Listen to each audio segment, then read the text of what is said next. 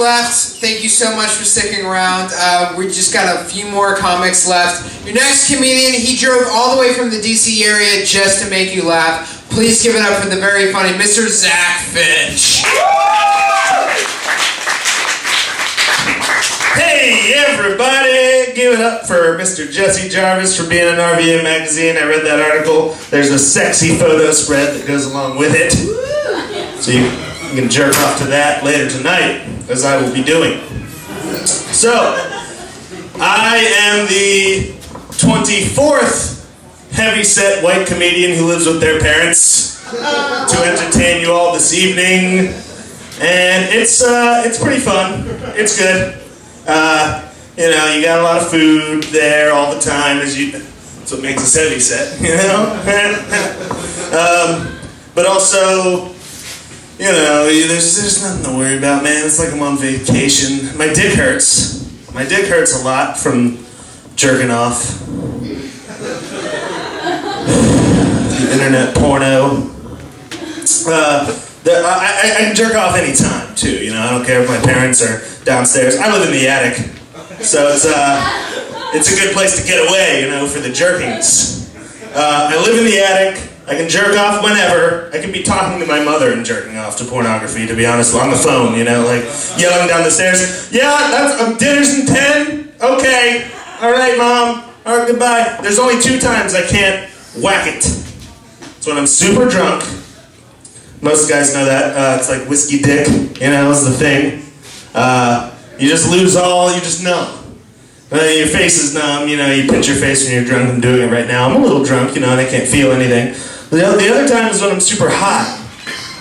Uh, and that's not because I'm like numb or anything, it's just because uh, I, I have to sing and I do it, it's, it's a different bit. But uh, I, I, I go to Facebook.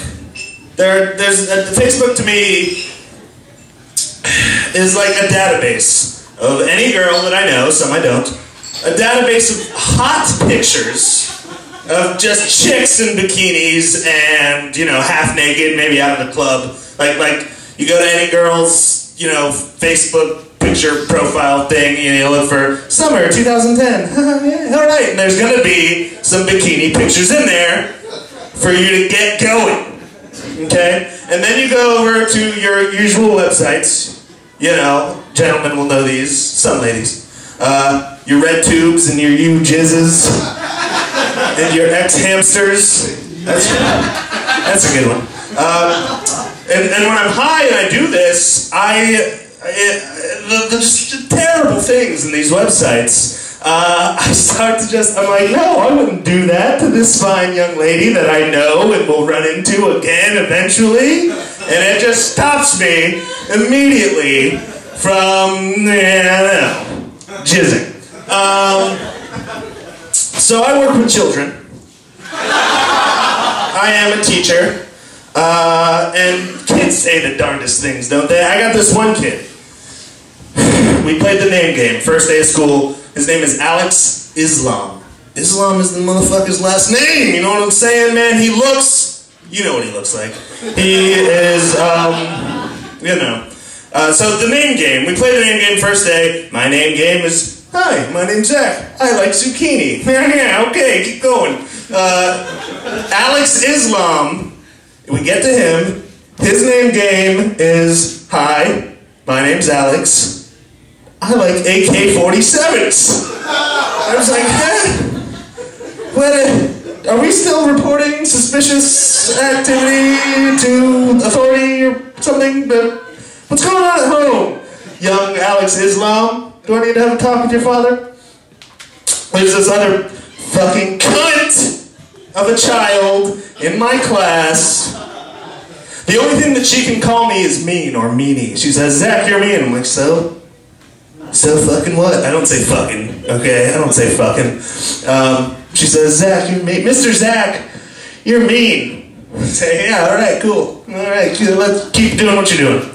Um, and I only let her get away with that because, A, she thinks that's the most hurtful thing to say to somebody, and I can come after teaching classes, which I did today, to places like this and just yell into this microphone at you all, You little fucking bitch! You're a whore! And just looking at her, I know, I know that this little fucking cunt will end up being uh, a, a hooker, a drug addicted prostitute, sucking dicks for anything.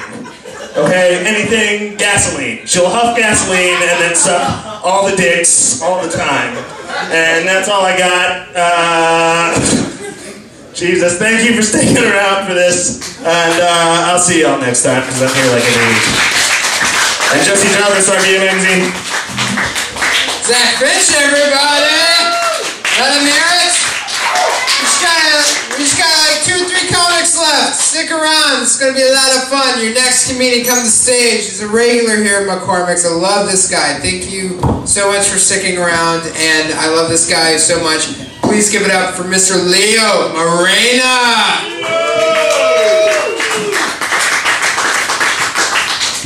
Yes, thank you, Jesse. RVA Magazine's Jesse Jarvis. I didn't see that article because I can't read. That surprises no one. Uh, so what's going on, guys? I don't know what to talk about. Um, you guys watch Fear Factor at all? Yeah, they're bringing it back. It kind of sucks now because they took an episode off the air. Apparently, they try to feed people like donkey semen. Literally, like they're like, oh, you know, we, we it's a delicacy in like Australia or some shit, and it's just like we try feeding it to people, and they didn't want any of it. It's like, really? That crossed the line? Like I used to see it back in the day. Like they would feed people bull testicles. Like how is it that like the shit that comes out is not cool, but the shit that produced it is fine? Like literally, it, it, it's it's okay on broadcast television to literally feed somebody bull testicles. Hey, how you doing? Very good. How are you? Awesome, thank you. Sorry to interrupt. Oh, that's fine. Don't worry. It wasn't funny anyway. Yeah. So, guys, Valentine's Day is coming up. You guys excited? Yeah, nobody is. All the single guys are here right now telling jokes, drinking their beers. We're not excited about it, all right? I especially fucking hate it because I'm gonna be alone again for Valentine's Day. And it pisses me off because I have a huge dick.